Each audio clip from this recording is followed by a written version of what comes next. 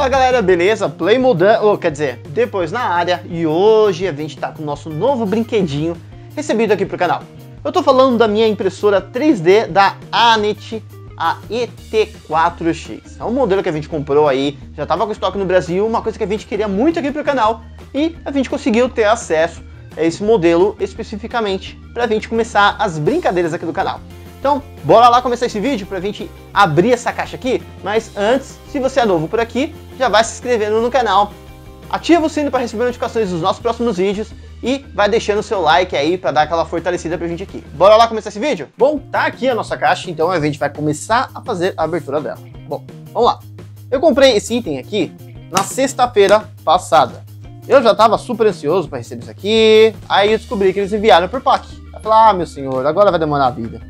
Só que a parte boa é que, pelo menos, ele vem de algumas cidades próximas aqui do estado de São Paulo. Então, existia uma esperança no fim do túnel.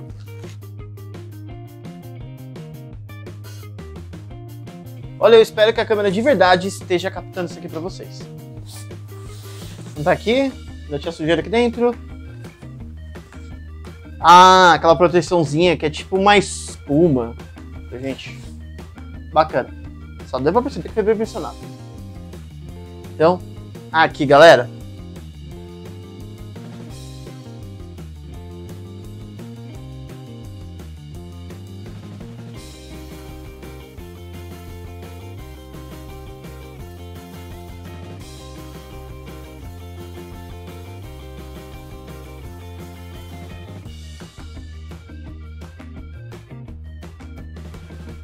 Beleza, o que, que a gente tem aqui? A gente tem um pouquinho de PLA para começar a brincadeira, legal. Eles mandaram pra gente um pouquinho de PLA. A gente tem a correia tensionadora do eixo, beleza, tá aqui pra gente. Ah, vem até com um engasgagato da vida, que a gente forma, chama, pelo menos eu chamo assim, né, engasgagato. Pra gente poder travar depois. A gente tem um kitzinho de chaves aqui, vem quatro chaves do tipo Alien e uma chave tipo de boca, né? Deixa eu até mostrar aqui para vocês, melhor. Aqui, ó. Chave em Allen. Correia tensionadora.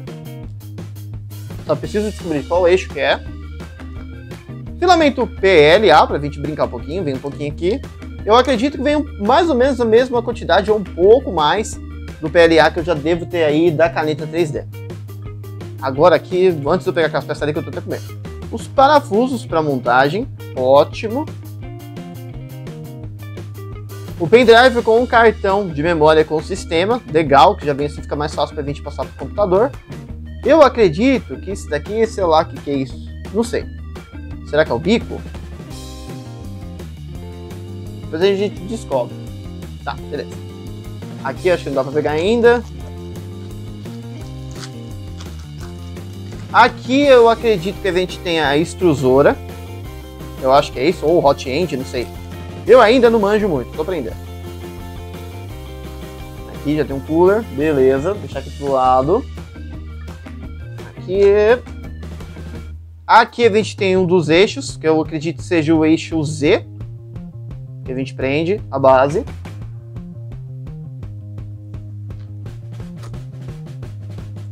Provavelmente esse daqui é um dos carrinhos para tensionar o, a base para ela subir e descer, né?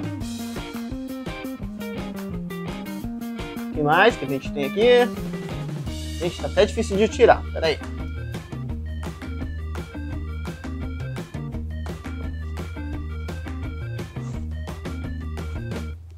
Dá até medo.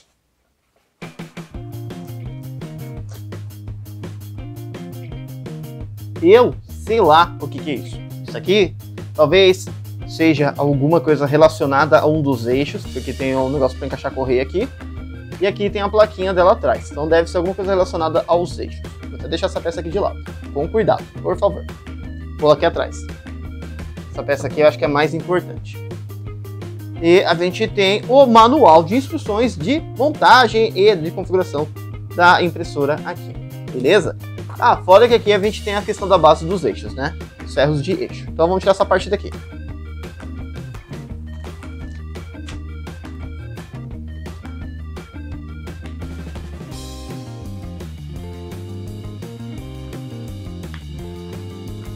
Ah, tem um pequeno extra aqui pra gente, que seria a barra roscada para o nosso eixo poder subir, junto com essa pecinha aqui, ó. A gente tem essa peça, a gente vai rosquear essa peça aqui, e ele vai fazer a extrusão pra gente. Vai fazer com que a base entre e suba e desça através desse eixo aqui girando. Nossa barra roscada. Bom, tirar essa parte daqui, que seja isso. Tirar, colocar para cá. Lembrando que essa impressora é uma impressora vendida como kit. Ela é vendida como kit pra gente. Então o que significa isso? Ela vem pré-montada. Ela vem essa parte que a gente viu toda aqui em cima desmontada. Ah, aqui a gente tem a base pra gente, a área de impressão. Isso aqui é um adesivo pra gente colar em cima porque isso aqui é uma mesa aquecida. Eu já vi muitos tutoriais do pessoal falando que não é recomendado você colar essa, esse adesivo, porque a partir de uma certa temperatura ele começa a descolar, o que prejudica um pouco o seu trabalho. Mas de qualquer maneira, se não for usar como parte da mesa, dá para usar como um mousepad, né? Vamos lá. E pronto, aqui a gente tem a nossa impressora. Vou até mostrar para vocês aqui de outro ângulo. Olha aqui, que legal. Nossa, a mesa aquecida, eu acredito que seja vidro que está aqui embaixo, é vidro temperado que ele aquece. Aqui é a impressora, nosso display e a impressora no geral. Eu vou tirar ela da caixa aqui para a gente ver.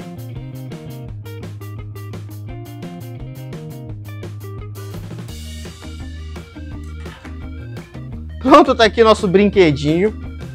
A gente vem bem protegido. Que bom, que bom vem com essa proteção toda feita aqui, porque, convenhamos, correios para enviar produtos é uma tristeza, né? Vamos lá. Vamos ver aqui a base, eixo bem largo aqui, por sinal, vou mostrar para vocês aqui. Isso aqui eu andei vendo bastante, que o pessoal falou que isso aqui quando é bem fino, que é só essa base do meio, costuma dar muito jogo na hora da impressão. Então, na hora da mesa vir para frente ou para trás. Kim, vai para lá. Aí como é que a gente faz? O gato vem aqui participar da gravação. Beleza. Bom, vamos soltar aqui, né? Tô com receio até de tirar ela daqui desse jeito. Ela dá pra ir protegida aqui embaixo também, tem uma base, gente. Eu vou tentar levantá-la por aqui, ó.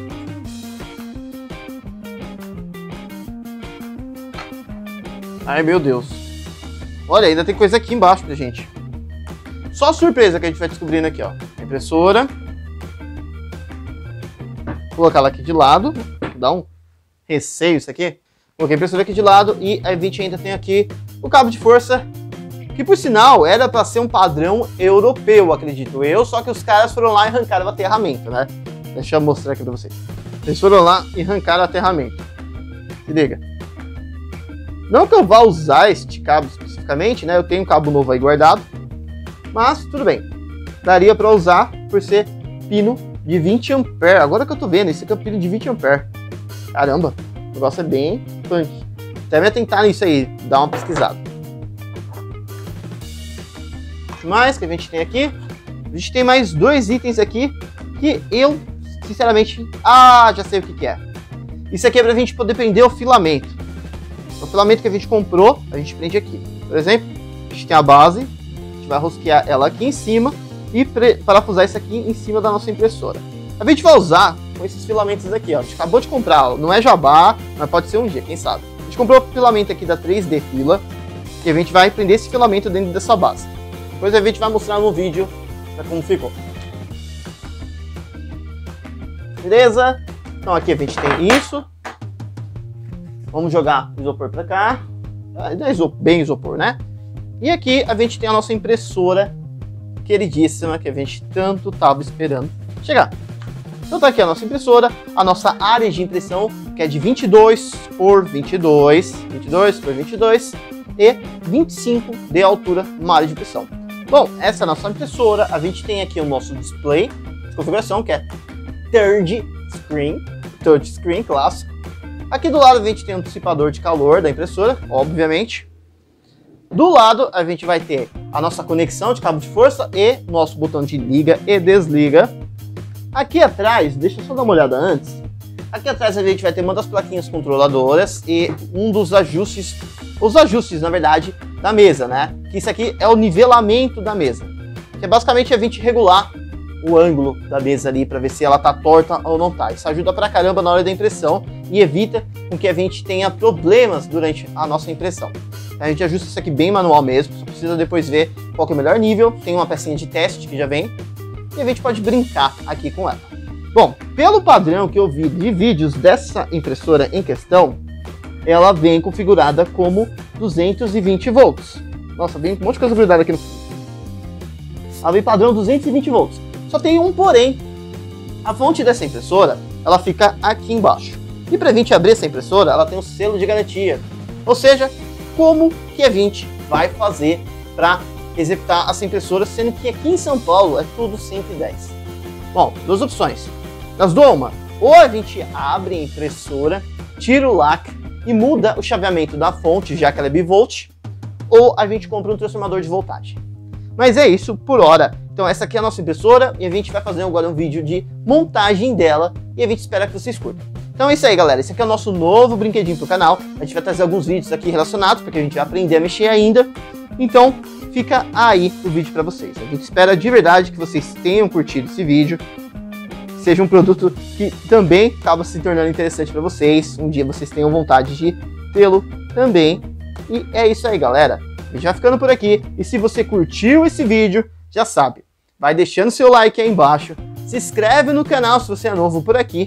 E, claro, ativa o sino para receber notificações dos nossos próximos vídeos. Então é isso, valeu, falou e até mais!